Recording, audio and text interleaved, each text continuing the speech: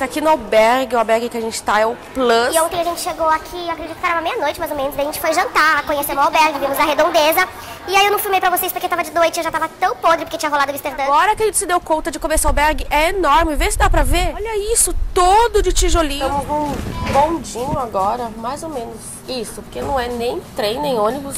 Tem um nome essa porra, mas esqueci. Estamos aqui onde era o muro de Berlim. Essas estruturas aqui de ferro é a simbolização do que era o muro, entendeu? Porque o muro ele foi destruído, tem um pedacinho que a gente vai lá ver.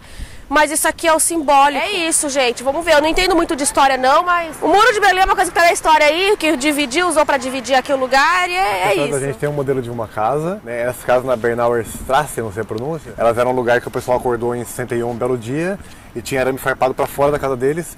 Você não podia mais sair da sua casa, não podia mais ver ou conviver com ninguém que era daqui para lá. Tipo, seus parentes estavam do outro lado da rua, você nunca mais ia vê-los, ou ia vê-los depois, foi descobrir 28 anos depois. E tinha aqui uma área fortificada que era muito difícil de transponer. Então quem fugia da Alemanha Oriental para a Alemanha Ocidental, geralmente ia tentando atravessar por essas casas, ou pulando pela janela dentro de uma delas, ou pelo telhado, você tinha mais chance de não ser baleado tentando buscar a liberdade.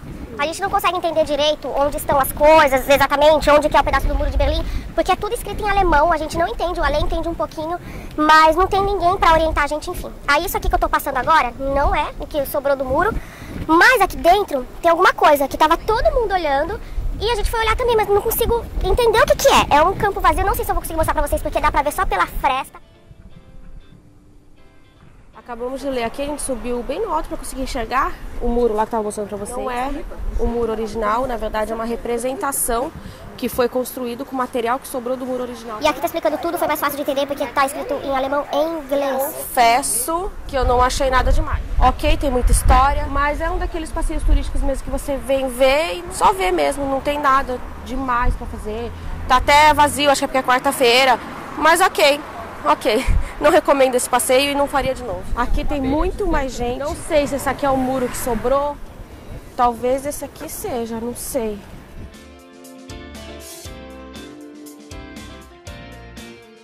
Andamos pra cacete, a gente tá aqui no centro de Berlim. Tava meio procurando um lugar pra comer. Não tem comida de rua, não achei McDonald's. Ali é o parlamento, olha que bonito. E aqui na frente tem um canal. Tava passando um monte de balsa agora de passeio turístico. Ai, Berlim é bem grande, viu a cidade. Bom, não precisava vir até aqui pra saber disso. Mas a gente tá andando muito e, gente, não tem o que comer, sério. Não tem uma barraquinha na rua, não tem um McDonald's. E aí? E aí?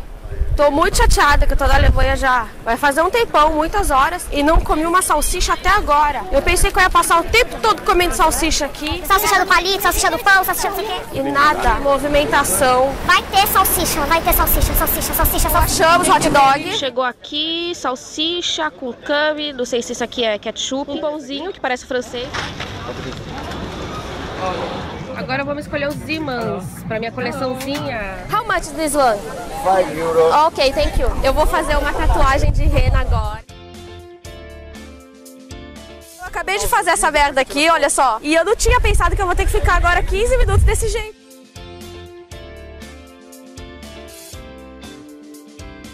Eu não sei o que, que eu fiz, mas o meu tênis rasgou agora em dois pontos. Olha isso, gente. Me fudi, mano. Tem que durar isso aqui 18 dias.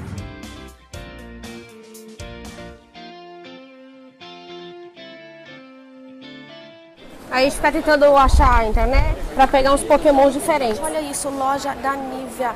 Ai, meu Deus, eu nem sabia que existia. E olha, o perfume da Nivea eu nunca tinha visto. E é o cheiro do perfume mesmo, do creme. Ai, puta que pariu. Eu quero tudo! Gente, vela. Ai, olha isso.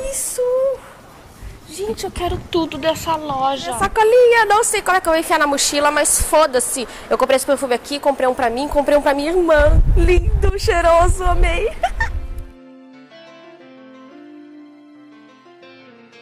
Só essa construção aí deve ser mais velha que o Brasil. Ó, essa torre aqui super alta também é um puta do ponto turístico que eu nem sei o nome.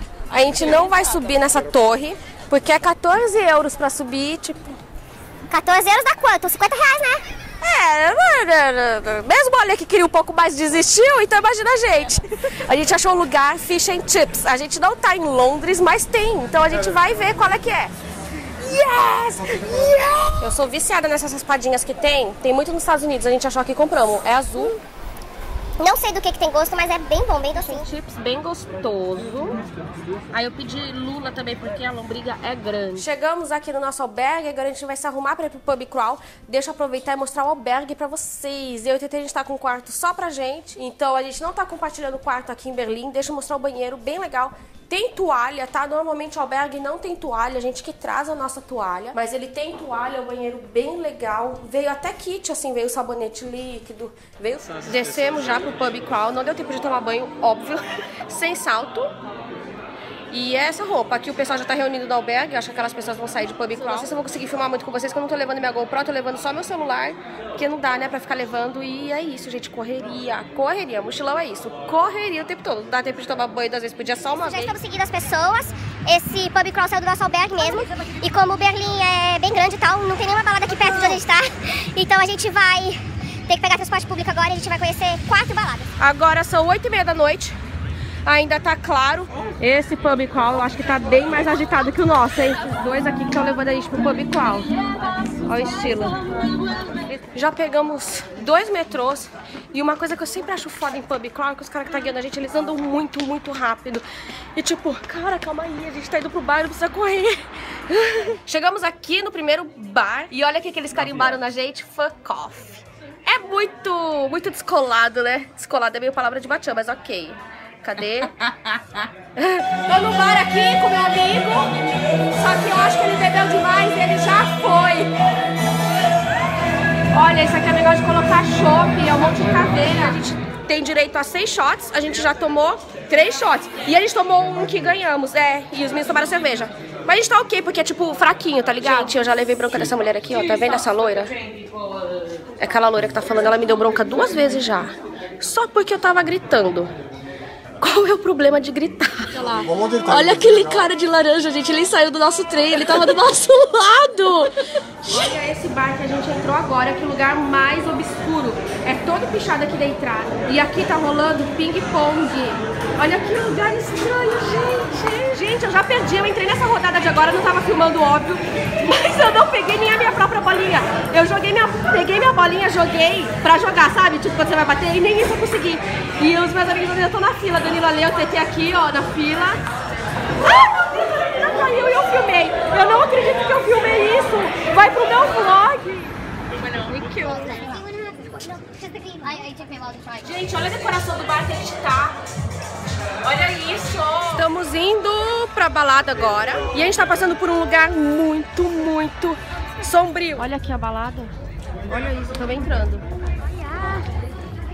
Gente,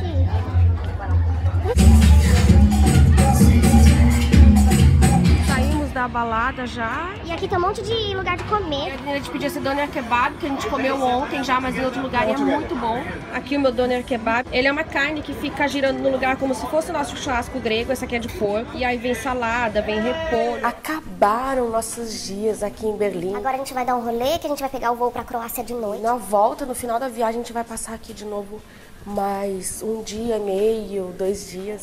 Agora a gente vai deixar nossas bagagens aqui, pra dar um rolezinho. Daqui a pouco a gente volta pra pegar. Porque a gente já teve que sair do quarto. A gente veio aqui na cozinha do albergue deixar os donuts que a gente tinha comprado, que a gente não aguentou comer, alguém come. Mas a cagaram dentro da nossa caixa. Quem cagou, Danila? Ontem a gente foi do lado do. Lá na puta que pariu. Achar aquele muro, sabe? Feio, tava mostrando pra vocês. E do lado do nosso albergue tem um pedaço, que é aquele pedaço famoso, que todo mundo tira foto, que tá pichado e tal. O original mesmo, não é uma réplica. E a única coisa que não é original são as pichações por cima e tal. Não sei se eu já falei em outros vlogs, devo ter falado. Eu não sou uma pessoa louca, alucinada por ponto turístico. Eu gosto de chegar numa cidade X e ficar andando de boa, ficar analisando a rua, analisando as pessoas, comer comida local, comer de rua. Isso daí é o que eu mais curto. Também curto a parte de você sair de noite, que a gente fez no pub crawl ontem. Que ok, você tá indo pras baladas, aí você tá conhecendo a vida das pessoas como é diferente na balada, como os jovens se comportam. E você tá passeando de noite também, de, de uma forma segura, porque você tá com muita gente.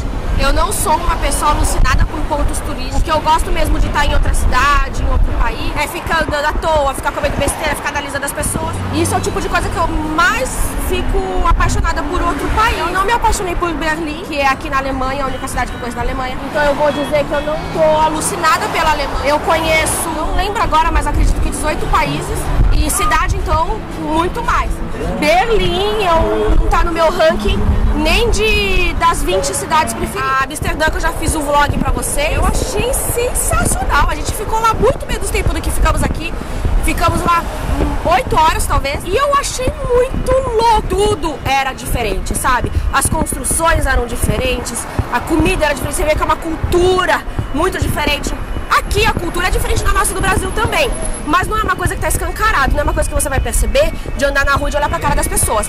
Lá em Amsterdã, você percebe a diferença de cultura só na hora que você sai do aeroporto você já percebe.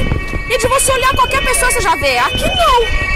Eu acho que é por isso que eu não me encantei. Gente, achamos uma parte aqui no mercado com coisa brasileira. Olha só, tipo goiabada, leite de coco, guaraná, velho barreiro, pão de queijo, pimentas. Que legal. Olha o tamanho do tic-tac, tic-tac de cereja e Coca-Cola. Agora estamos felizes, tomando café da manhã na rua. É engraçado, todos os lugares que a gente passa, e tem tipo gente pedindo dinheiro e tal, tipo esse daqui tava sentado agora, sempre uma placa assim escrito que é pra maconha. E não é legalizado aqui.